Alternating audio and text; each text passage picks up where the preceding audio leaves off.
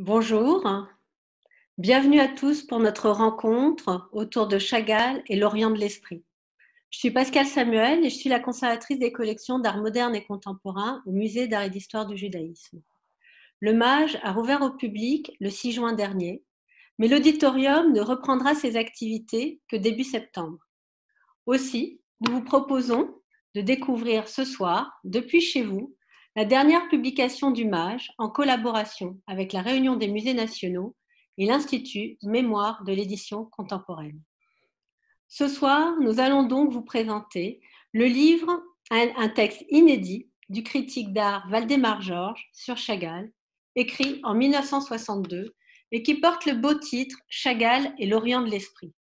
Ce livre est sorti il y a une quinzaine de jours et vous pouvez le trouver notamment à la librairie du Mage, mais pas seulement.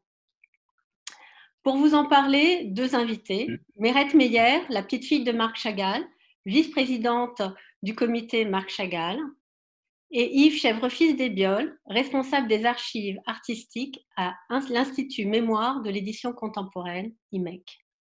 C'est à Yves que nous devons d'avoir retrouvé ce texte inédit et de nous l'avoir commenté. Je vous salue tous les deux, je vois que vous êtes euh, branchés, j'espère que la connexion passe bien.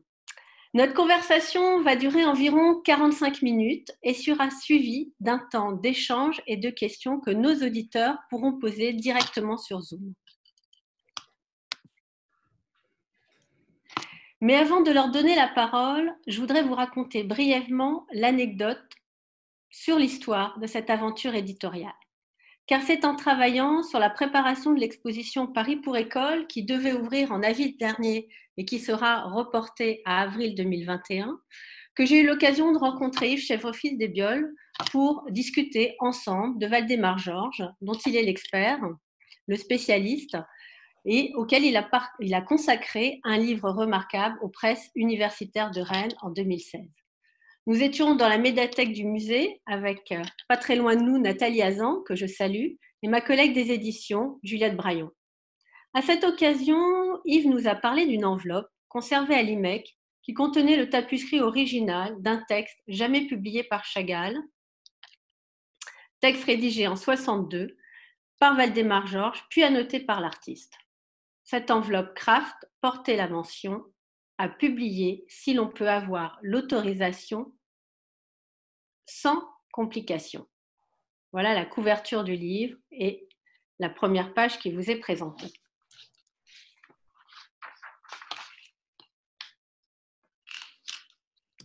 Si le mage s'y est intéressé, c'est que, comme vous le verrez, ce texte sur Chagall met l'accent sur ses références à la culture juive, mais aussi parce que cette archive nous livre à la fois le texte d'un critique, mais également la réaction de l'artiste ses réserves, ses interrogations, permettant de comprendre les points de divergence entre les deux hommes, mais aussi, au-delà, le rapport qu'un artiste peut avoir avec sa propre histoire. C'est donc dans l'enthousiasme de la découverte de ce texte que Juliette Braillon, chargée des éditions Hommage, a su convaincre la réunion des musées nationaux à partir avec l'IMEC et nous dans cette aventure éditoriale pour redonner vie à ce texte de Valdemar Georges pour qu'il trouve un demi-siècle plus tard son public. Voilà, dresser un cadre de cet euh, échange que nous allons avoir. Peut-être que pour commencer, je voudrais donner la parole à Yves Chèvrefils Desvioles pour qu'il nous présente Valdemar Georges, qu'il nous rappelle quel éminent critique d'art il a été, quel fut un petit peu son parcours personnel et professionnel. Yves, je te donne la parole. Merci beaucoup. Il y a un écho euh, qui vient jusqu'à mon oreille. J'espère que tout ira bien. Euh, d'abord, merci euh, Meret Meillard d'être avec nous et merci d'avoir participé à la production, à la mise au point de, ce livre. Valdemar Georges. Eh bien, Valdemar Georges, son nom est Jerzy Valdemar Jaroszyński. Je ne sais pas si je prononce bien son nom en polonais mais en tout cas, euh, il est connu sous ses deux prénoms inversés qu'il a choisis comme euh, nom.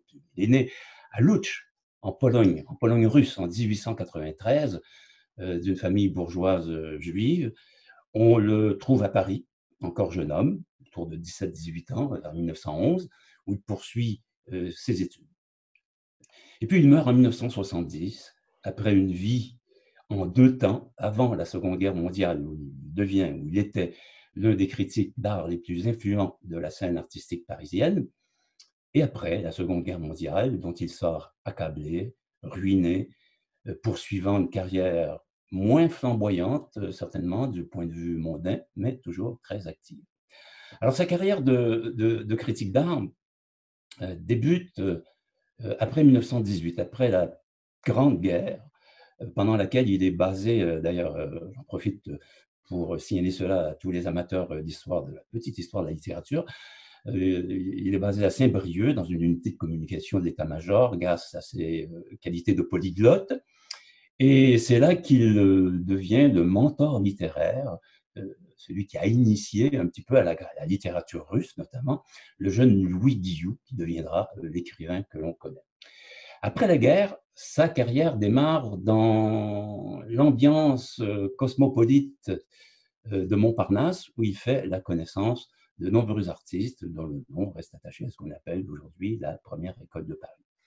Et en 1920, euh, sa carrière connaît une très nette accélération lorsqu'il devient le secrétaire général puis le rédacteur en chef un petit peu plus tard de l'importante revue L'amour de l'art, au point que, euh, et ça on, en trouve euh, plusieurs témoignages dans des livres, des chroniques de l'époque, si vous voulez, des livres de souvenirs parfois, euh, Valdemar Georges, enfin à l'époque, artiste et, même galerie d'art ne rêvaient que d'une chose, que Valdemar Georges écrive pour eux une monographie, une présentation, une préface. Il était, pour reprendre les mots d'un confrère à Valdemar Georges, Gualtieri di San Lazzaro, qui était un Italien euh, fondateur et animateur de revue à Paris à cette époque-là, il était le WG de l'art contemporain. Alors ça, c'est tout dire quand on, on signe de ses initiales et qu'on est presque universellement connu, enfin, du moins dans le, micro-milieu artistique, c'est déjà beaucoup. Alors, Valdemar Georges écrit dans les journaux, dans des revues, et aussi pour, euh, pour deux précieuses petites collections de monographies que les chercheurs connaissent bien. Euh, il y a les Pêtres français nouveaux, publiés quand même la grande maison Gallimard, qui a été lancée en 1919. Euh, Valdemar Georges y écrit des textes pour euh, Fernand Léger, pour Juan Gris, également sur Boris Aronson et son, théâtre Camerny.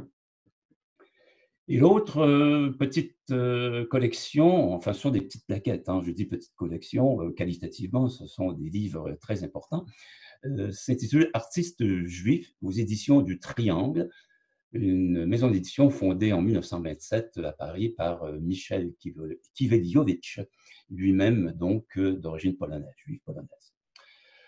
Dans ses essais des années 1927, 1928, 1929, Valdemar Georges pose très souvent la redoutable question, sans réponse, hein, qu'est-ce qu'un art juif? Avec comme souvent chez lui, en revanche, des formules verbales ou des comparaisons volontairement euh, provocantes. Ce sera le sujet d'un autre travail euh, que j'espère faire avec, euh, avec pour le colloque euh, qu'organisera Pascal l'année prochaine, toujours hommage.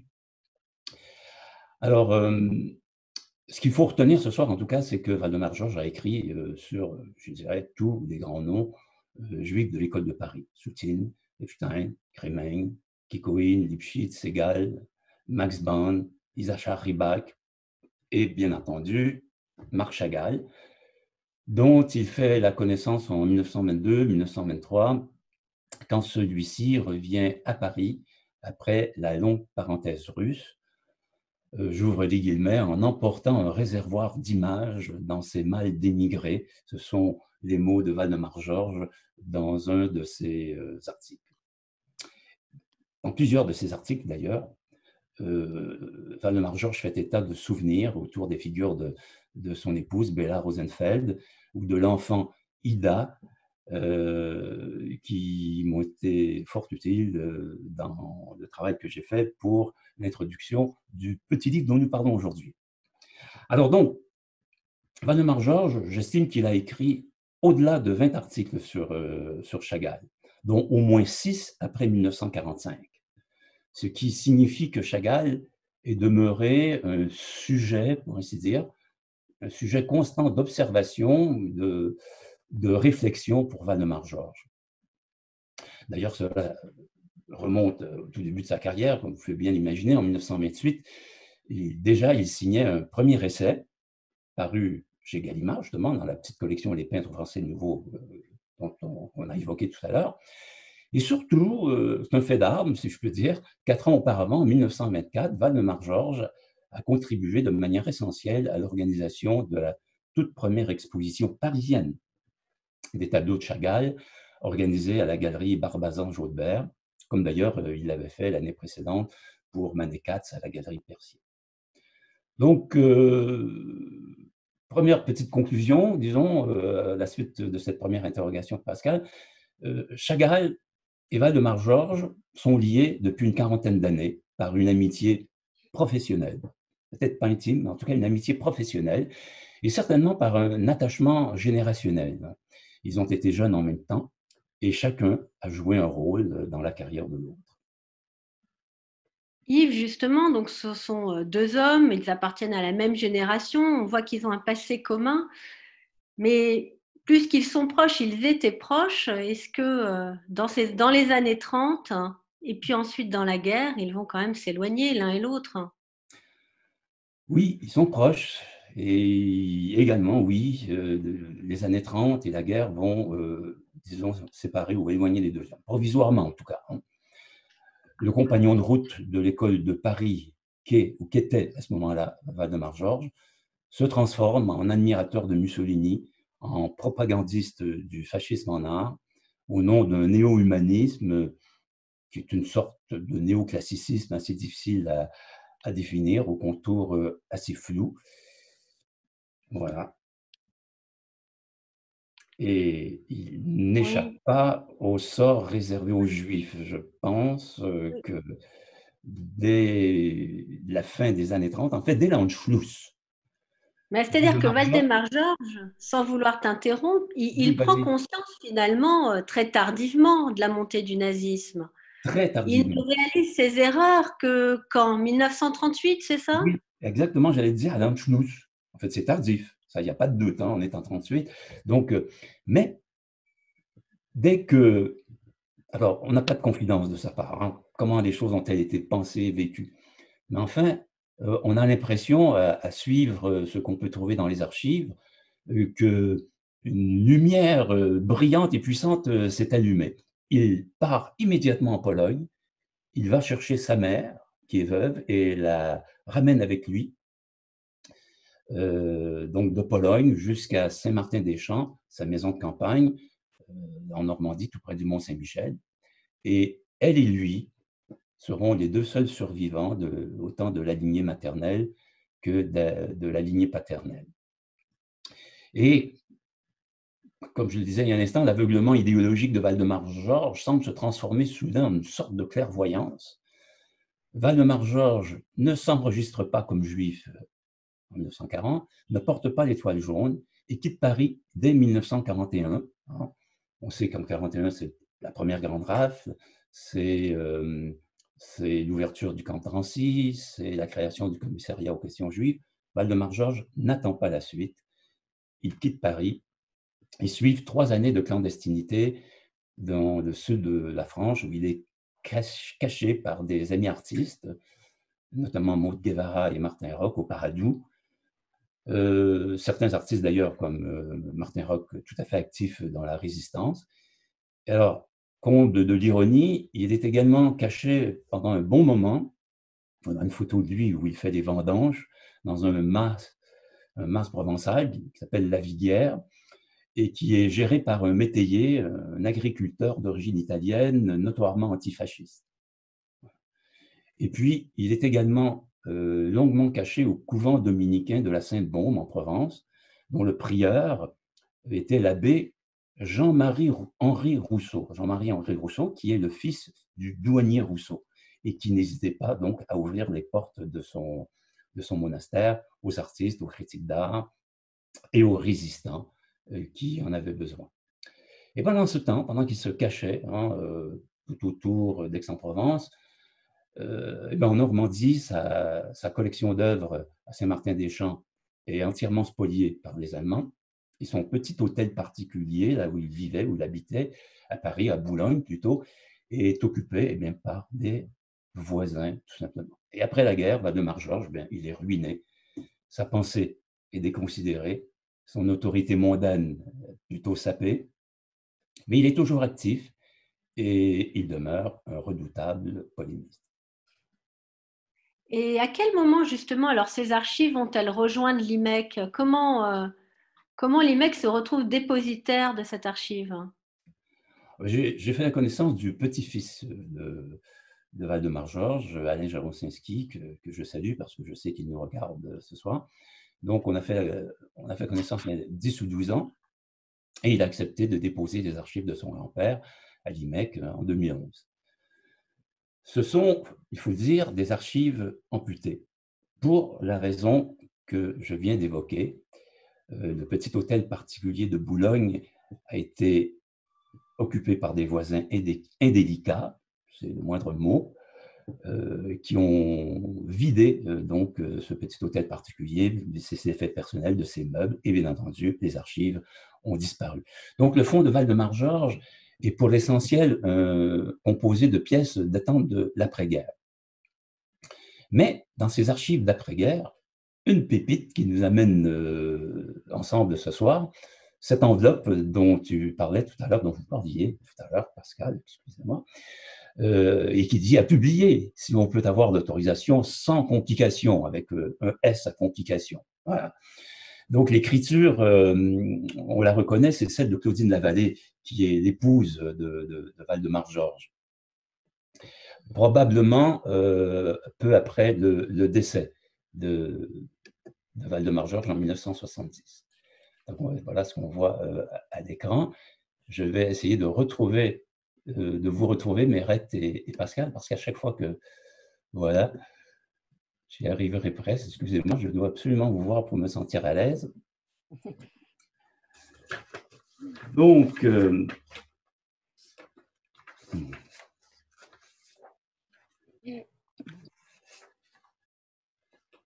voilà. Donc, à publier si l'on peut avoir l'autorisation sans complication.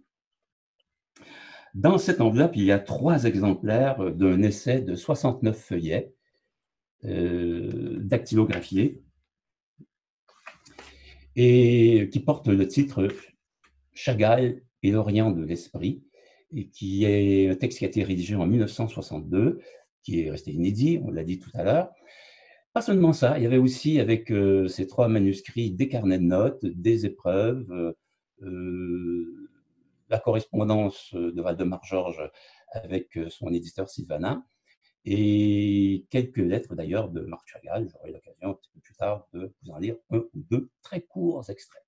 Donc l'ouvrage devait paraître, ou aurait dû paraître euh, en 1963 ou 1964, accompagné de plusieurs dessins, enfin de quatre dessins originaux et, d'une vingtaine de planches couleurs au pochoir pour un tirage de 200 exemplaires. C'était donc un projet de livre de luxe, comme on dit aujourd'hui. Alors pourquoi est-ce que cet essai n'a jamais paru? Eh C'est ce à quoi je tente de répondre dans mon introduction. Alors peut-être avant de répondre à l'énigme, Mérette Meyer, est-ce que vous pourriez un petit peu nous dresser le portrait de ce Chagall de l'après-guerre? Dans quel état d'esprit est-il? Quels sont ses grands projets?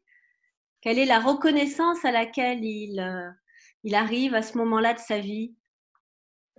Alors, si vous permettez, je crois que ce serait important de, remonter dans le temps et de dire qu'en préambule, euh, on peut avancer la thèse d'après laquelle euh, Chagall ne se reconnaît pas ou plus dans le texte de Valdemar Georges. Euh, la vie personnelle et l'évolution de l'œuvre de Chagall dès les années 30 ayant conduit l'artiste à des explorations et des ressentis bien précis que Valdemar Georges ne semble avoir intégré. C'est, je pense que c'est c'est pas, uniquement, pas uniquement à partir de, des années 50 ou 60, mais on va revenir un peu plus tard au fait que euh, Chagall ne réagit pas au premier texte, mais il réagit uniquement au texte proposé en 62.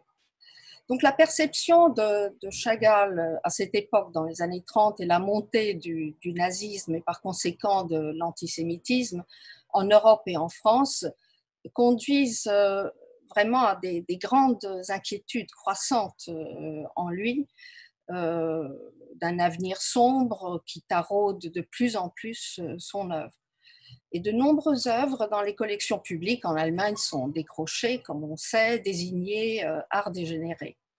Et de retour de Palestine en 31, suite à la commande de la Bible par Vollard, euh, ses interprétations des scènes bibliques feront de plus en plus écho à sa volonté de résistance à travers son langage plastique de dessinateur et de graveur. Il faut aussi rappeler ici, pour euh, faire peut-être un parallèle avec euh, Valdemar Georges, que, Chagall, en comparaison de Valdemar Georges, a très bien pressenti euh, ce qui allait arriver depuis les années 20. Euh, ils collectionnaient des coupures de, presse, ils étaient très à l'écoute, anxieux, inquiets de, ce qui allait arriver. Donc ce n'est pas en 38, bien entendu, ou à partir de, des expositions de l'art dégénéré qui prend conscience de, ce, danger, mais, bien avant. Et ça se, voit dans, son œuvre, dans, des œuvres qui ont été retravaillées à plusieurs reprises, comme La, chute de l'ange qui, euh, qui a été commencée en 1923.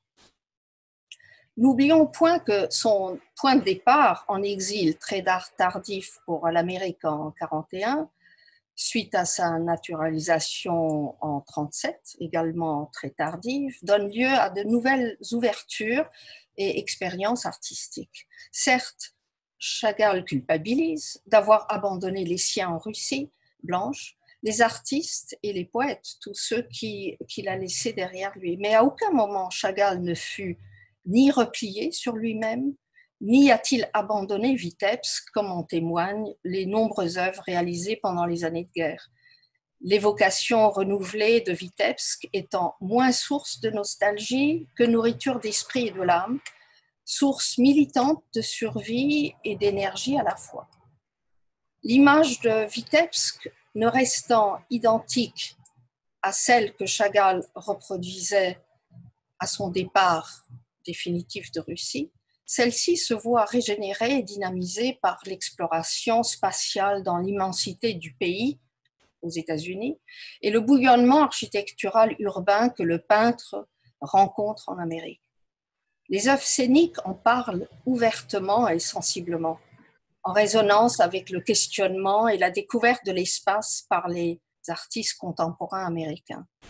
Par conséquent, au retour d'exil fin 47, l'artiste Chagall ne peut être comparé à celui d'avant-guerre. Son œuvre de dimension universelle est célébrée à travers de nombreuses rétrospectives dans de nombreux pays. Les manifestations se succèdent, les commandes monumentales se multiplient dans le monde entier. Et Chagall explore autant de techniques diverses que son dessin artistique et ses questionnements lui imposent.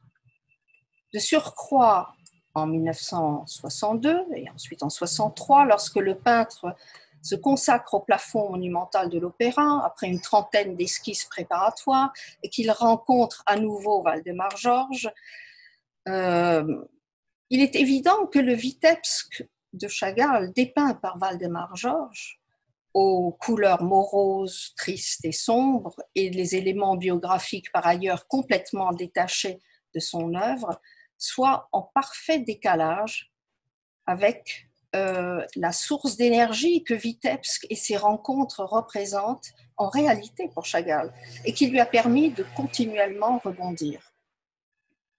C'est en fait un, euh, une, une, conception euh, de, de, la jeunesse qu'il ne renie pas du, pas du tout, celle que Valdemar Georges exprime, seulement il n'arrive plus à se, à se reconnaître étant donné que euh, cette description est complètement détachée de son œuvre telle qu'il le ressent euh, au début des années 60 quand, quand il revoit Valdemar Georges. Donc les, les conditions euh, d'écriture sont, sont, très différentes des, années 20 et 30 et ne peuvent pas être comparées avec les autres textes qu'il avait rédigés auparavant. Donc cette forme d'incompréhension qui s'explique, je crois, vous l'avez bien décrite par le parcours de ces deux hommes, va amener en effet ce que ce texte reste plus, plus de 50 ans dans, dans une enveloppe craft. Pourtant, l'histoire, euh, Yves avait bien commencé. La relation qu'avait nouée euh, Valdemar Georges avec Chagall euh, était partie au départ sur une bonne dynamique. Oui, oui, tout à fait. je pense que la remarque euh, la longue remarque que vient de faire euh, ma euh, est tout à fait justicieuse. Et en avançant un petit peu dans l'histoire de la petite archive, je pense qu'on pourra voir que ce que vient de dire Meret Meyer est, tout à fait juste.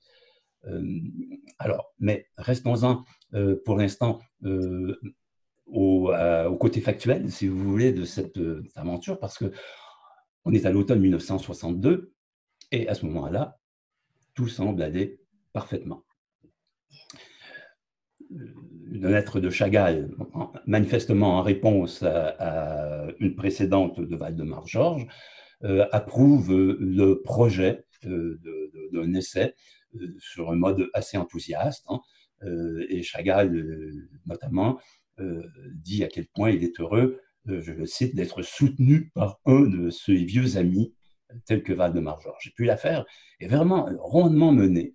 Dès janvier 1963, c'est-à-dire quelques mois à peine, quatre ou cinq mois, après donc avoir reçu le, premier signe de, Chagall, eh bien Valdemar-Georges envoie à Chagall un exemplaire dactylographié de son essai. C'est celui qui, justement, est reproduit dans le petit livre dont nous parlons aujourd'hui. Et sans se douter une seconde, hein, enfin je pense qu'on peut le penser, on peut en faire l'hypothèse, sans que euh, Valdemar Georges ne doute une seule seconde du bon accueil de son texte par Chagall. Tant et si bien que Valdemar Georges poursuit son travail de préparation en lançant avec l'éditeur des demandes d'autorisation de reproduction à divers musées. Un photographe se rend chez les Chagall Avance pour reproduire des tableaux récents. Euh, il est bien accueilli, euh, Valdemar Georges corrige des épreuves, etc. etc. Et l'affaire ne se dénoue qu'en 1964, une année et demie après que Valdemar Georges ait envoyé à Chagall son manuscrit. Et de manière défavorable, on le sait déjà, à l'occasion d'une rencontre à Paris entre les deux hommes à l'été 64, hein, c'est la saison pendant laquelle, je pense, euh, Chagall travaille à l'opéra, au plafond, à son plafond de l'opéra, eh bien, Chagall signifie de vive voix euh, son désaccord. Et puis, Chagall renvoie par la poste son manuscrit à Valdemar Georges. Près de neuf feuillets au total sont barrés, biffés. Euh, un, chapitre entier est consacré qui est consacré aux sources populaires et juives de, de Chagall selon Valdemar Georges, est entièrement euh, disqualifié. De même que de longs passages euh, dans lesquels Valdemar Georges insiste sur la permanence de la figure de Bella Rosenfeld, la première épouse de Chagall, qui donna, on le sait tous, hein, son souffle à, son art. Alors, dans la courte lettre qui accompagne le manuscrit, courte lettre du 7 septembre 1964, Chagall résume ainsi son point de vue et je vais vous le dire euh, en, espérant le trouver rapidement. Ainsi que vous le verrez, c'est Chagall hein, qui parle, ainsi que vous le verrez, il y a quelques remarques parce que j'ai pensé, ainsi que je vous en ai parlé, et qu'il était préférable de ne pas trop s'arrêter sur le côté biographique, mais souligner plutôt le côté technique, historique et dans le mouvement des arts. En d'autres mots, alors là, c'est moi hein, qui euh, traduis la pensée de, de Valdemar, de Chagall, pardon. Chagall disait à Valdemar Georges, eh bien écoutez, cessez de parler de ma jeunesse, de ma vie à Vitebsk, de Bella, de ma fascination pour les peintres d'enseigne, pour les graffitis, euh, pour l'atmosphère populaire russe dans laquelle baigne le shtetl où a grandi Chagall. Pensez plutôt à ce que je suis maintenant, un peintre inscrit individuellement, hein, le mot est important, enfin c'est moi qui, l'utilise, individuellement, c'est-à-dire non au nom d'un groupe ou d'une communauté, donc inscrit individuellement dans le mouvement universel des arts. Alors, il y a même une note marginale en russe qui, dans le, manuscrit, qui résume bien le mouvement de contrariété qui anime Chagall. la petite note dit à peu près pourquoi, sous-entendu, écrire autant sur moi et sur P, P pour Picasso, son Espagne. Voilà, fermer les guillemets. Alors, hein, ça signifie, est-ce qu'on réduit Picasso, le jeune Picasso, à sa jeunesse en Espagne? Est-ce que, est-ce qu'on me réduit, moi, à, voilà. Chagall, donc, exige que Valdemar-Georges supprime les passages qui ne lui conviennent pas. Valdemar-Georges refuse. Chagall n'autorise pas l'éditeur à reproduire ses tableaux. Et l'ouvrage de luxe avec tirages originaux eh bien, ne voit pas le jour, tout simplement. Oui, mais alors pour que les personnes qui nous écoutent ce soir comprennent bien, qu'est-ce qui caractérise euh, ce texte de Valdemar Georges par rapport à ses écrits précédents euh, sur Chagall? Comment tu expliques ça? Eh bien, avant de l'expliquer, euh, une, remarque concernant le titre. je pense que que, que Valdemar Georges emprunte ce titre-là à Paul Valéry, hein, parce qu'on trouve dans la revue Verve, la revue de Thériade, euh, un article sous ce titre de, Valéry, L'Orient de l'Esprit, hein, paru à l'été 1938. Et quand on lit euh, cet article, euh, on voit que Valéry exprime sa conception d'une sorte, d'une certaine Méditerranée qui va de, qui, qui, vise large, je pourrais dire, qui va devenir au contrées biblique royaume de l'imagination, du bizarre, du rêve, l'Orient qui est la mère de toutes les religions. Il faut dire aussi que l'Orient, c'était un thème fort à la mode durant l'entre-deux-guerres. Et ce que d'ailleurs Valdemar-Georges rend euh, en ces termes, euh, je reprends euh, l'ouvrage à nouveau, il écrit Artiste barbare et raffiné, savant et puéril, peintre byzantin et peintre universel, Chagall réconcilie l'Occident et l'Orient, l'esprit géométrique et la pensée mystique. L'Orient, selon Chagall, n'est qu'un accroissement de notre capital de rêve et de fiction. On peut penser que Valdemar Georges, euh, enfin, qu'il y a là une poussée lyrique, mais en fait, c'est assez bien tourné quand même. Et l'Orient il ne faut pas oublier aussi que la Russie, c'est aussi euh, l'Orient. Et dans cet essai, dans cet essai que nous publions, Chagall euh, va de Georges plutôt s'étend longuement sur la première grande période de, Chagall qui va de sa jeunesse à Vitebsk jusqu'à la première période parisienne. Euh, les autres périodes des années 30, l'exil américain, euh, les années 50 sont évoquées par Valdemar Georges mais euh, sur le mode mineur, euh, pour ainsi dire, sont bien moins euh, développés. Alors, pour mieux répondre maintenant à votre question, Pascal, et aux commentaires aussi de, de, Meyer, qu'est-ce qui caractérise ce, texte? Alors d'abord, soyons, soyons clairs, pour ceux qui se penchent sur Chagall, et voilà, toujours le même petit exercice, pour ceux qui se penchent sur Chagall et de manière plus générale sur l'éveil juif euh, à la modernité artistique dans le premier quart du XXe siècle, euh, le fondement juif de l'art de Chagall, ben, c'est un lieu commun, hein, c'est une évidence, on le sait tous. Néanmoins, ce qu'il y a de rafraîchissement, de rafraîchissant, je prononce bien, dans le texte de Valdemar Georges, eh c'est son sens de la formule significative, euh, parfois même de, l'aphorisme. Hein son style, si on peut dire, son style général, un style imagé qui, euh, interpelle et qui permet de, de voir, de revoir, si on veut, peut-être même de comprendre autrement, euh, de manière peut-être plus aiguë, un fait, un point, d'interpréter autrement la biographie artistique de, de Chagall. Mais ce style de, de, de Valdemar-Georges, euh, ce qui est plus important, je pense, là, est au service d'une analyse qui lui est propre et à laquelle il tient.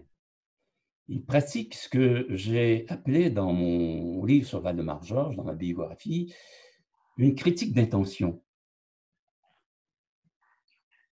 hmm, qui consiste euh, à repérer en quelque sorte dans l'œuvre, dans toute œuvre, hein, la présence de l'homme, de l'humain, de l'humanité. Autrement dit, en tant que critique d'art humaniste, disons-le comme ça, ou idéaliste, le mot est adéquat, son analyse des formes de l'art vise à discerner ce qui, dans une œuvre, témoigne de la présence ineffable de l'homme. Ainsi, euh, pour en donner un exemple, parlons du moment cubiste de Chagall et euh, de l'époque avant la Grande Guerre qui était d'abord euh, vouée aux recherches. Il écrit à la page 32, du moins à la page 32 de ce petit livre, Picasso déforme selon la lettre et puis reconstruit l'objet. Chagall déforme selon l'esprit et défie la raison.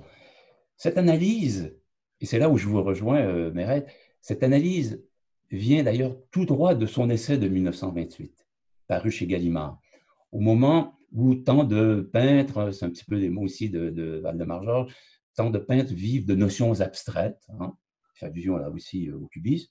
Chagall fait du cubisme un véritable langage de l'âme, là aussi l'expression de Valdemar Georges.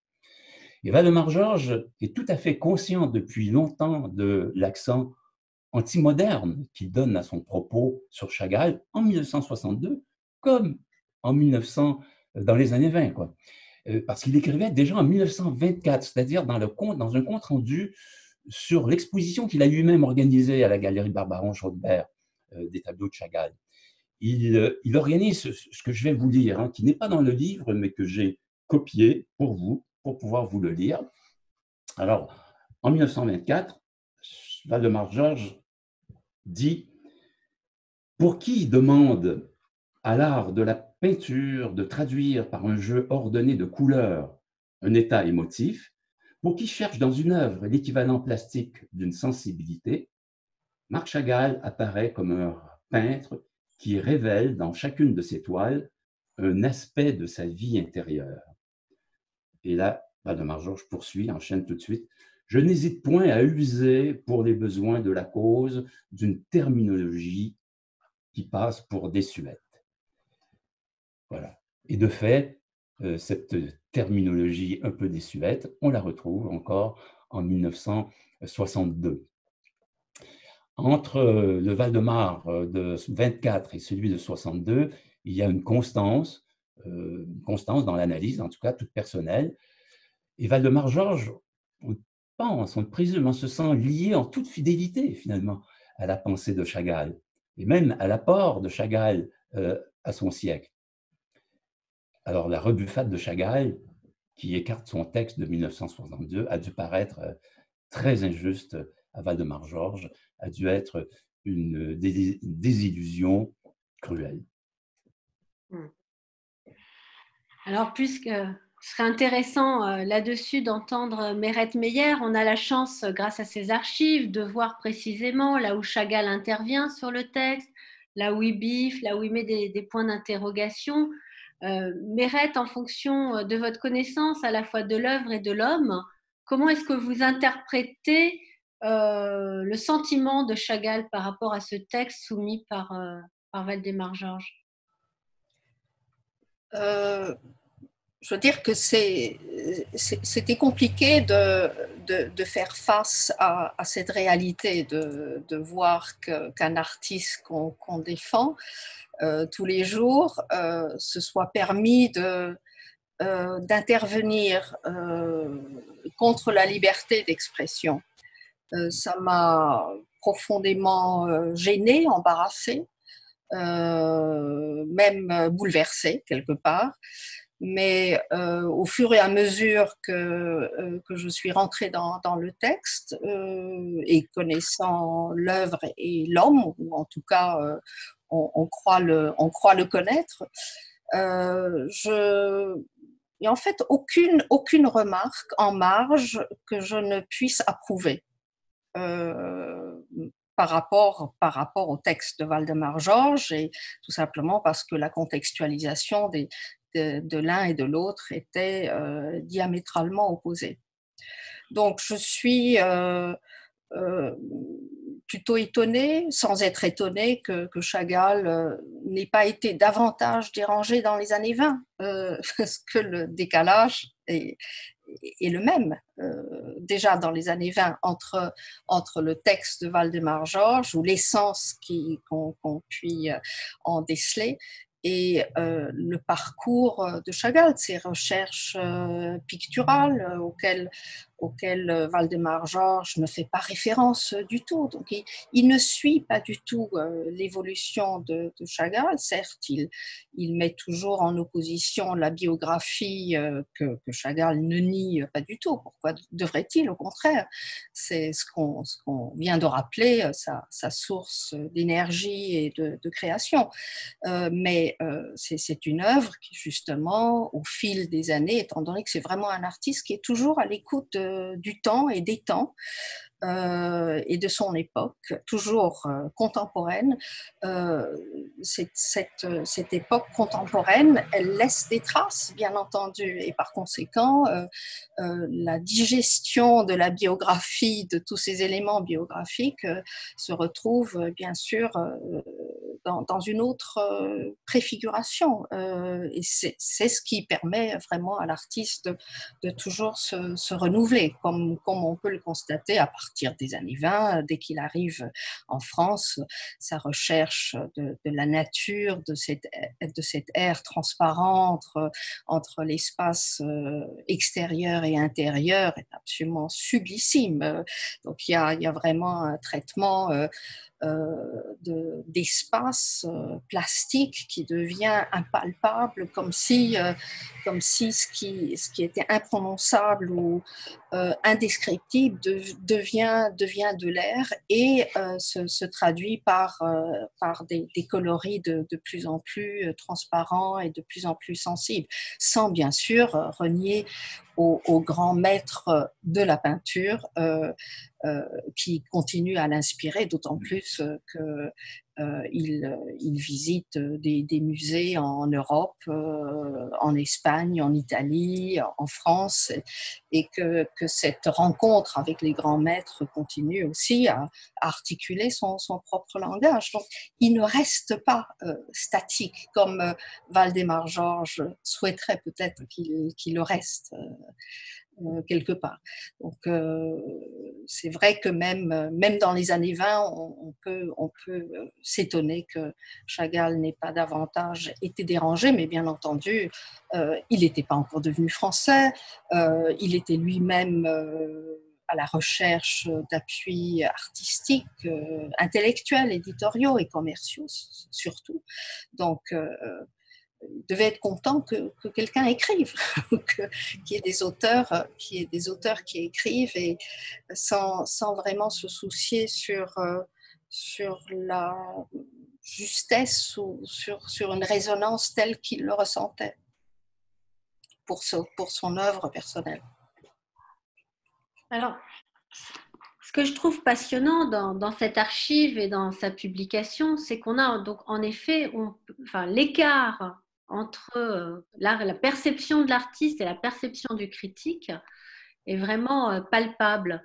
Et justement, dans cette édition, le graphiste a vraiment réussi à rendre les différents niveaux euh, de langage ou plutôt les différents niveaux de compréhension.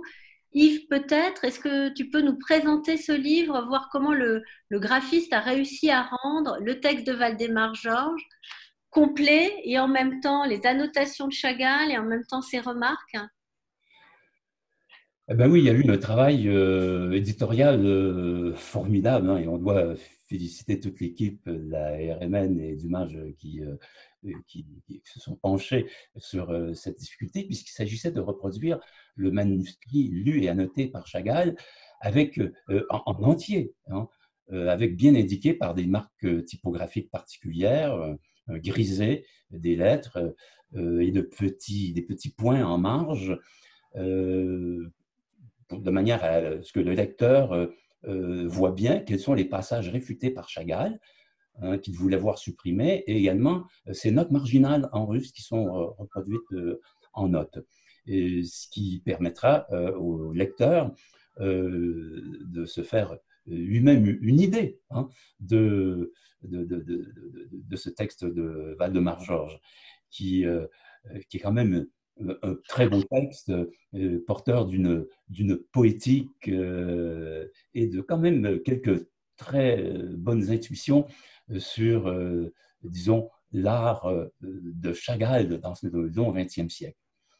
Alors donc, euh, d'ailleurs, euh, il me faut remercier ici euh, à nouveau Meret Meyer, ainsi que Sofia Glukova et Olga Karandacheva, hein, qui, avec elle, ont décrypté et traduit les annotations de Chagall, ce qui n'était pas facile et ce qui n'était surtout pas à ma portée. Et puis, il y a plein de notes de bas de page dans l'ouvrage qui font le point hein, au fur et à mesure que le récit se déploie, afin que la petite histoire de cette belle archive apparaisse clairement aux yeux des lecteurs dans tous ces rebondissements, parce qu'il y en a, et dans toutes ces subtilités.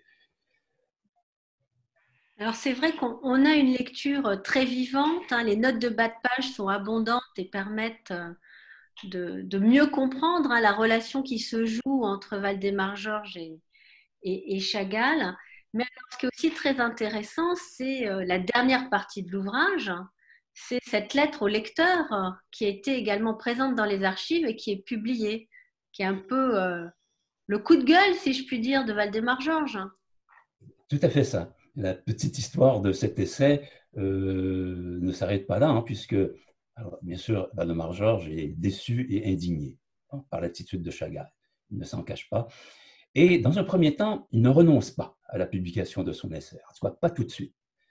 Euh, parce que c'est l'autre surprise contenue dans cette enveloppe. Euh, il y a une lettre au lecteur, une assez longue lettre au lecteur, puisqu'elle fait trois feuillets, euh, dans lesquels, enfin, le critique à ce moment-là dit qu'il va publier tout nu, c'est son expression, hein, il va publier tout nu son essai, c'est-à-dire sans illustrations.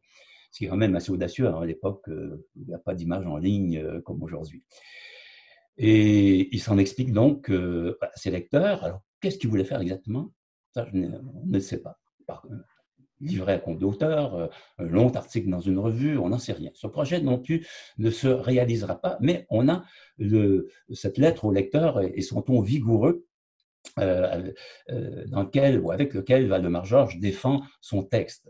Vraie protestation au nom de la liberté de la critique, la liberté de la pensée, un texte euh, intéressant à lire, vraiment, de ce point de vue-là, et qui mérite euh, qu'on s'y arrête. Hein. Le texte est entièrement reproduit euh, en annexe de, l'ouvrage. Alors, je ne vais pas reprendre tout, le contenu de ces trois feuillets.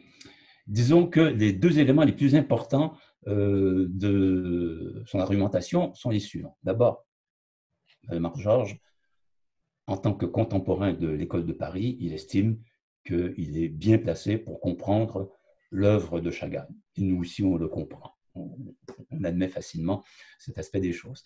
Le second argument euh, que Valdemar Georges livre un peu comme un absolu, c'est qu'en tant que juif, Valdemar Georges estime être le mieux placé pour rendre le contexte religieux et culturel qui traverse l'œuvre de Chagall.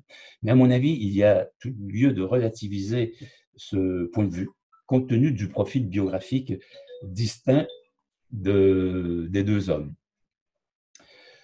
Euh, tout simplement parce que Valdemar Georges est issu de la bourgeoisie juive de Lutz en Pologne, qu'il a grandi parmi les industriels, des banquiers qui parlent le russe, l'allemand, le polonais, mais surtout pas le yiddish, un milieu assimilationniste donc. Et bien que Valdemar Georges soit bel et bien juif, il ne connaît pas de première main la vie, parfois euh, riche euh, de promesses, euh, d'activités, des shtetl, cette vie qui a irrigué, je dirais, tous les étages psychiques de la personnalité de Chagall. Hmm. Et toi qui t'es plongé dans l'archive, dans ces archives pendant, pendant plusieurs mois, quelles conclusions tu, tu fais justement de ces deux hommes, ces deux parcours, ces, deux approches? Comment euh, on pourrait conclure euh, cette analyse de texte hein, que tu as réalisée? Pour conclure, il faut revenir euh, au contexte paradoxal des, deux hommes. déjà, euh, Meyer nous y a introduit au tournant des années 1960. Et là, ça sera le dernier rebondissement de mon histoire d'archives, parce que c'est quand même une clé dans ma tentative d'interprétation. Alors, Valdemar Georges et le rebondissement, c'est le suivant. En 1961, Valdemar Georges est très gravement malade. Il est hospitalisé, il frôle la mort. Il a 68 ans. Et il décide de se convertir au catholicisme. En novembre 1961, le père Régamé, très connu aussi dans les milieux, euh, les milieux artistiques parisiens, avec le père Couturier, puisqu'il est un des principaux animateurs de la revue d'art sacré, euh, le maître euh, qui, a invité tant et tant d'artistes à décorer chapelles et églises. Et donc, voilà, Valdemar Georges reçoit le baptême des mains du, père Régamé. Et alors, ce qui m'a frappé, c'est la concomitance de deux faits. Valdemar Georges, la convalescence achevée, que fait-il comme premier geste littéraire en tant que néo-converti, que néo-catholique? Eh bien, c'est de se pencher sur Chagall, de choisir Chagall, sa vie, son œuvre, euh, afin de célébrer le judaïsme. À partir de la vie et de l'œuvre de Chagall, le judaïsme et la vie des Juifs encore et toujours de manière toute personnelle. C'est ce qui rend aussi ce texte, pour les lecteurs qui ont, la curiosité de le lire, euh, tout à fait passionnant. Alors que Chagall, de son côté, ben, on le sait par sa biographie, il est très tôt détaché de la pratique religieuse, hein, dès son adolescence, semble-t-il. Certes, il éprouve un attrait iconographique pour euh, la figure du Christ en croix, hein, qui débute très tôt dans son œuvre par un dessin de 1908 que que Meret Meyer m'a montré euh, lors d'une réunion de la semaine dernière, donc très tôt dans sa vie, dans sa carrière de, peintre, euh, cet attrait iconographique se manifeste, mais c'est certain, cela ne correspond à aucune tentation mystique qui a pourtant traversé euh, tant et tant de personnalités juives de cette époque, hein, autour de Maritain, du père Régamé, un petit peu plus tardivement. Pour Chagall, le Christ en croix est un puissant motif iconographique qui permet de comprendre le temps, d'exprimer le XXe siècle, d'exprimer le drame du XXe siècle, qui structure de manière formidablement dramatique une composition, en tout cas. Mais Chagall est juif et entend le rester. Il ne comprend d'ailleurs, je, je dis ça en passant, euh, c'est une petite euh, découverte, une anecdote plutôt, que j'ai faite dans les archives de l'IMEC à l'abbaye d'Ardennes, dans les archives de Jean-José Marchand, donc un critique littéraire et un producteur d'émissions à, feu, le RTF, autrefois, et qui a interviewé euh, Chagall en 1976, là aussi un, un entretien inédit, et on y évoque René Schwab, un grand ami euh, de, Chagall, l'écrivain René Schwab, qui s'est converti justement au, catholicisme, et Chagall euh, de s'exprimer devant Jean-José Marchand, mais Schwab, pauvre homme, je ne sais pas pourquoi il a fait ça. Voilà. Donc, vous savez, euh, Chagall était tout à fait réticent à ce genre de démarche. Peut-être, Yves, tu, nous décris euh, Valdemar Georges. On, se rend compte que finalement, c'est un homme un peu de la contradiction hein, tout au long de sa vie. Tu nous décris aussi deux parcours qui sont finalement euh, dissymétriques. Dissymétriques euh, et tous les deux fulgurants, si vous voulez. Les tableaux de Chagall le sont, l'écriture de Valdemar Georges l'est également. Mais pour conclure, Chagall ben, veut être un artiste universel qui s'inscrit dans la grande histoire de l'art. Il veut être reconnu et aimé hein, au-delà des attachements nationaux ou religieux. Euh, au début des années 60, Chagall est plongé dans un temps présent qui laisse très peu de place euh, au souvenir, au ressassement en tout cas. Et au moment où il peint le plafond de l'Opéra de Paris, Chagall veut orienter la lecture de son œuvre, de sa vie, dans un présent absolu. C'est comme ça que je l'ai écrit ou que je l'ai dit dans, mon introduction. hein, celui d'une universalité acquise qui laisse provisoirement de côté le shtetl, les enseignes des échoppes, l'ancien bonheur conjugal également avec Bella. Voilà. Donc, euh, euh, c'est un livre plein de paradoxes. Euh, toutes ces tensions traversent les pages. on suit le raisonnement de, de Valdemar-Georges, mais également la réaction de Chagall de page en page et de chapitre en chapitre, de page rayée en passage biffé. Et la chose est passionnante, mais si on veut résumer de la manière la plus simple euh, cette histoire d'archives, eh ben Valdemar-Georges, avec son essai sous bras, son essai en main, a frappé à la porte de Chagall au mauvais moment. Hmm. Alors, frapper à la porte au mauvais moment, peut-être que euh, ce serait intéressant que Mérette, vous ayez le mot de la fin. Euh, ce texte, je crois que quand le mage vous l'a présenté, vous ne le connaissiez pas. En tout cas, peut-être vous ne l'aviez pas dans vos archives. Euh, comment avez-vous euh, réagi quand le mage vous a fait part de, son souhait peut-être de le, publier pour pouvoir justement faire vivre cette archive et mieux comprendre l'écart et la perception différente qu'il peut y avoir entre un critique d'art et un artiste? On, se rend compte à ce moment-là que euh, non seulement Valdemar Georges est, fait de, plein de contradictions, mais aussi Marc Chagall, euh, étant donné que euh, c'est la raison pour laquelle j'étais personnellement gênée et très embarrassée de, voir qu'il barre des, passages, qu'il aille jusqu'à barrer des, passages et,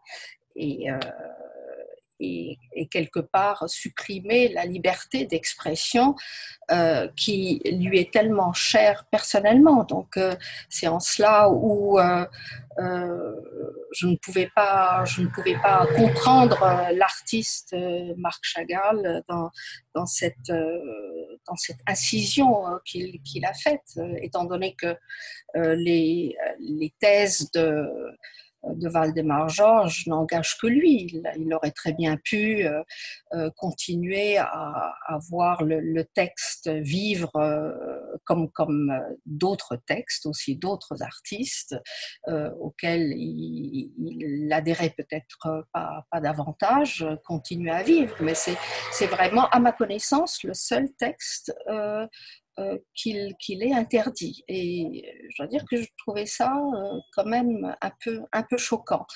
Euh, pour des raisons de restitution de liberté d'expression, qui était quand même sa propre maxime et, et, son principe de vie et de l'œuvre, il, nous fallait vraiment rétablir cela après après 60 ans, je crois, presque 60 ans. Euh, c'est intéressant de, pouvoir le faire avec, avec cette distance euh, et c'est la raison pour laquelle nous avons euh, bien entendu donné notre accord, mais à condition que ce livre soit accompagné d'un appareil critique.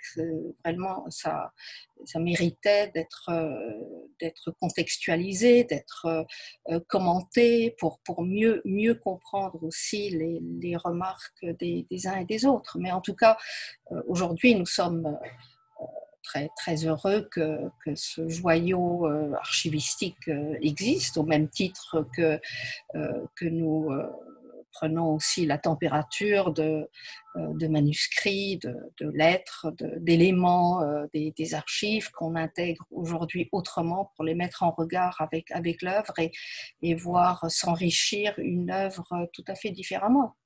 Donc je pense que ce livre, il pourra permettre de, comprendre euh, différents contextes, euh, certainement pas s'arrêter sur, euh, sur une problématique personnelle, même si cela reste intéressant de se poser la question pour quelles raisons Chagall va au-delà de, des réactions qu'il avait pour d'autres auteurs, d'autant plus que Valdemar Georges n'est pas ni le premier ni le dernier à avoir évoqué ce, monde de, jeunesse qui, prend toute son ampleur et toute sa vigueur. Au contraire, d'ailleurs, des, des, artistes de religion juive et non juive. Donc, c'était c'était pas une réaction par rapport euh, à l'homme juif de Lodge qui euh, n'avait pas pris la température de Vitebsk, qui, qui ne connaissait pas cette ambiance euh, et qui se permettait de faire une peinture d'ambiance sans, vraiment en saisir l'essence. je pense que ça va, c'est vraiment au-delà de, cela. En tout cas, une réaction dont il n'avait pas le courage, euh, ni l'audace, ni le positionnement dans les années 20, mais tout d'un coup, dans les années 60, euh, fort de, tous ces, commandes monumentales et, et, inscrits dans cette, dans cette ferveur créatrice, là, tout d'un coup, c'en était trop. Apparemment, c'en était trop. Euh, je crois que le borsch a débordé. il, fallait, agir, apparemment. Euh, mais c'est pas pour autant que, justement, euh, la tolérance ne, ne, soit pas de mise. C'est en tout cas notre, point de vue, tant, tant qu'on ne dit pas de, mal. Là, là, ce sont tout simplement euh, deux orientations qui sont diamétralement opposées, mais je veux dire, qui ne nuisent pas à l'œuvre du tout. Euh, je veux dire, Valdemar Georges ne parle pas de l'œuvre tout court.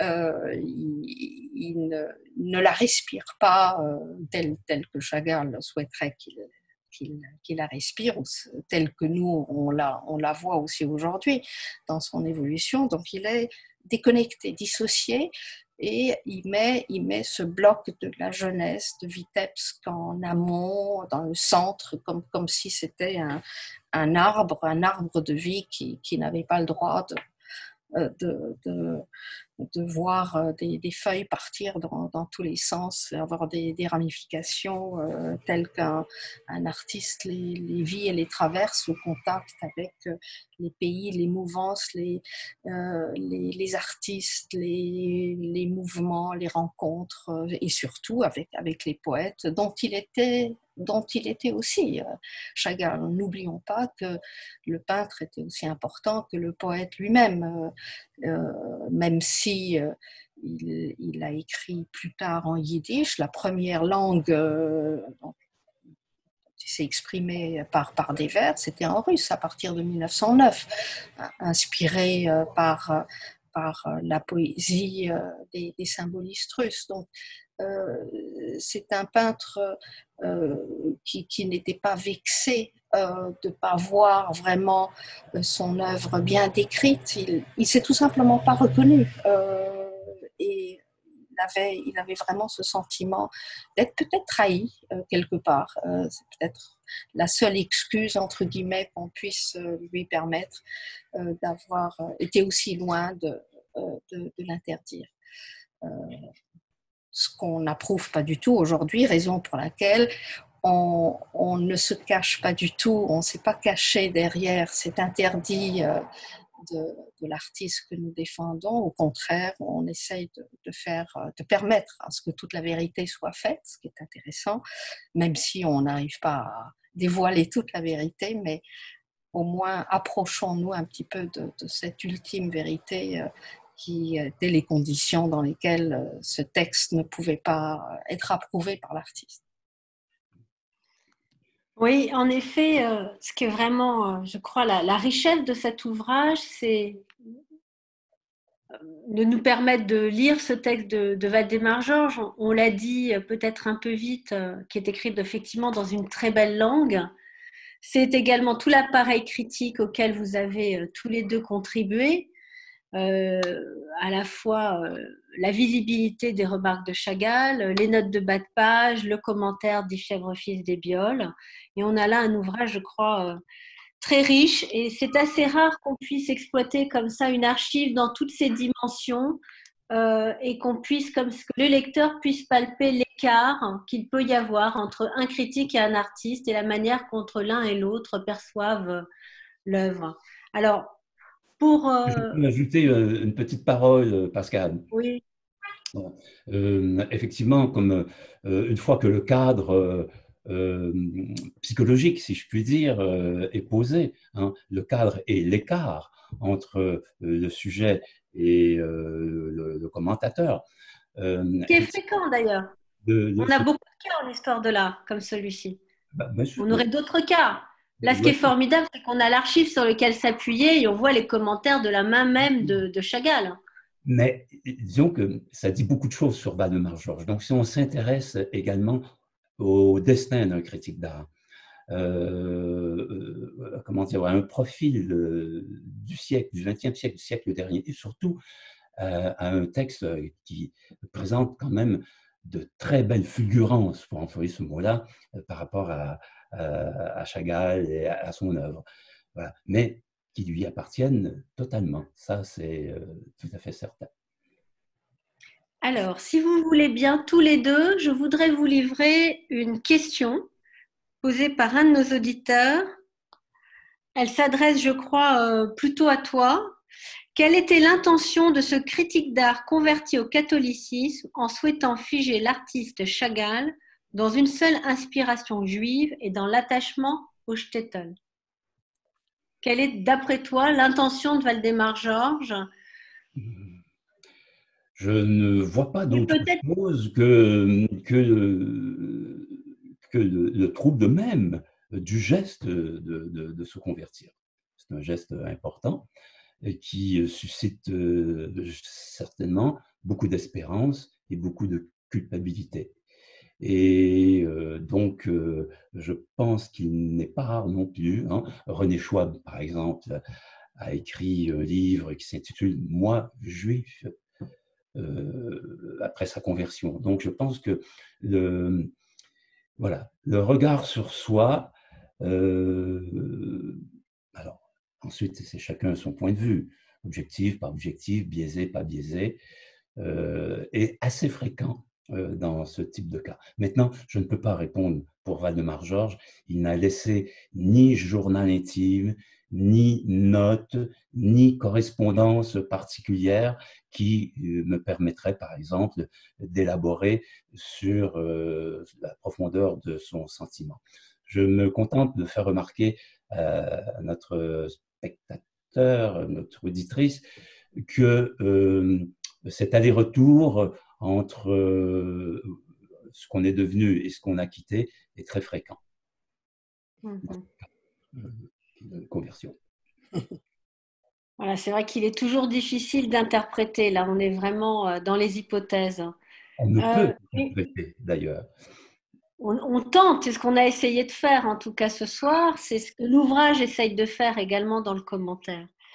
Euh, je vous livre peut-être la dernière question, une question qui s'adresse plutôt à Mérette.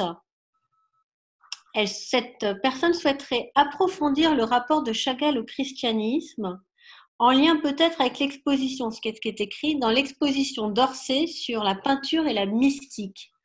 Alors le lien entre Chagall et le christianisme, peut-être qu'on peut en tout cas l'aborder sur la question de l'iconographie, euh, de la, la fascination peut-être de Chagall, comment il s'est a souhaité aussi peut-être s'emparer des sujets que les maîtres avaient traités avant lui, Mérette? Oui, euh, cette iconographie, comme euh, Yves Chèvrefil Desbiol l'avait, déjà euh, démontré ou on avait parlé précédemment, elle, s'inscrit dans, son œuvre à partir de 1908, en contact ou influencée et marquée par la, la poésie symboliste, par la peinture euh, d'icônes, euh, donc la peinture euh, orthodoxe, dans laquelle cette iconographie intervient également, et, et bien entendu par tous les, tous les maîtres qu'il qu'il regardait et qu'il observait avec grande, grande attention, avec beaucoup de, beaucoup de, besoin aussi de s'enrichir, pas seulement au niveau euh, pictural, mais aussi au niveau euh, plastique. Donc cet élément, euh, il, a, il a traversé l'élément de, la crucifixion a traversé plusieurs significations. Il n'est pas resté, n'est pas resté du tout le même entre 1908 avec une expression beaucoup plus humaniste jusqu'au jusqu'à la reprise de ce de ce motif dans les années 30 vers vers le vers le juif martyr juif, euh, le dernier des prophètes. Donc, bien entendu, euh, le, christianisme, le christianisme n'est pas euh, il, est, il, est, tout simplement emprunté au christianisme, mais, mais tellement transformé qu'on peut qu'on peut pas du tout l'assimiler à, à, cet élément tel que le christianisme l'a introduit. Alors peut-être, si, on se donne encore quelques minutes, une dernière question nous est posée. La personne voudrait savoir pourquoi le livre n'a pas été publié simplement en supprimant les passages qui avaient été biffés par Chagall. Bien, parce que je pense que les années ont passé et que, comme euh, Meret Meyer l'a dit tout à l'heure, on est en mesure aujourd'hui de regarder les choses telles qu'elles sont. Euh, je pense qu'il y a là euh, un geste de Chagall qu'on comprend euh, et qu'on peut aussi déplorer, et parce que, en même temps, les choses que, disent, que dit Valdemar Georges, eh ben, écoutez, elles sont intéressantes. quand elle rappelle la présence de Bella Rosenfeld, quand il circule à travers quand il croit circuler à travers la Russie des graffitis et des peintres d'enseigne, euh, il y a quand même euh, des très très belles descriptions. Euh, bon, voilà. Donc, je pense que ça valait le coup de faire un travail, appelons-le scientifique, si vous voulez, en mettant des guillemets, et de présenter un demi-siècle plus tard. même 60 ans, oui. Il est, en tout cas, à mon, à mon, à mon avis, euh, il aurait été hors de question de masquer quoi que ce soit hors de question. C'était, aussi euh, contre, contre cette volonté de, transparence qu'avait, qu'avait Chagall, en, dépit, en dépit de l'interdit euh, qu'il avait prononcé. Mais euh, telle, que nous lisons aujourd'hui son œuvre, ou telle qu'elle a été lue auparavant, c'est, surtout cette transversalité entre, entre toutes les époques, entre toutes les techniques, entre toutes les pensées, entre toutes les expressions artistiques qui euh, qui empêche, empêche aujourd'hui même de, vouloir masquer quoi que ce soit. Au contraire, ça n'a aucun intérêt. En tout cas, euh, nous, on n'aurait jamais donné euh, l'autorisation si, si tel avait été le choix. L'intérêt consistant justement à à, voir le livre ouvert avec, euh, avec, euh, avec, toutes, ces, avec toutes ces remarques et, et tous les commentaires, euh, qu'ils soient justifiés ou non. Ça, chaque auditeur ou lecteur plutôt pourra, pourra en juger, mais de toute façon, c'est intéressant de, les mettre en regard par rapport à une contextualisation de, de l'artiste et de Valdemar Georges.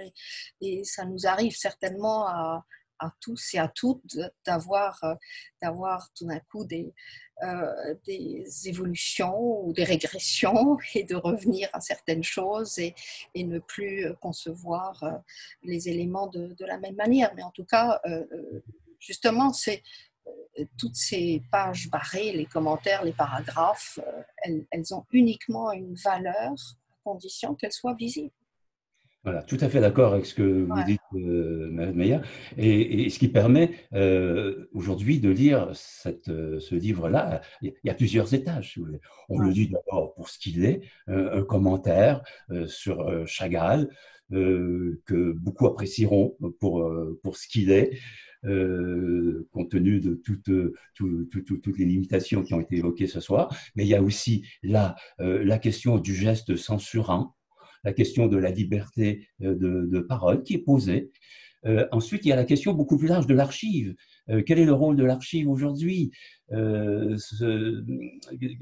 Cette, cette, façon qu'ont les, vieux papiers, quand ils existent, de pouvoir nous faire revivre intensément le rapport entre deux hommes Et voilà, ensuite, à chacun de se nourrir de ces multiples entrées dans ce tout petit ouvrage avec plein de portes. Bah, écoutez, merci beaucoup sincèrement à, tous les deux.